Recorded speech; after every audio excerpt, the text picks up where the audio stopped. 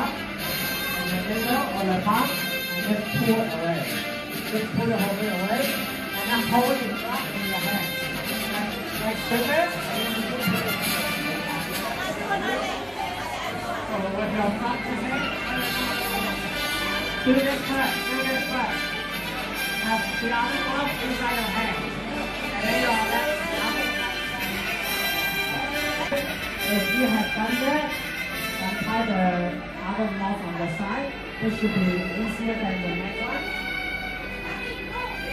Okay, don't get Let everyone untie their laptops. Everyone have a great time for.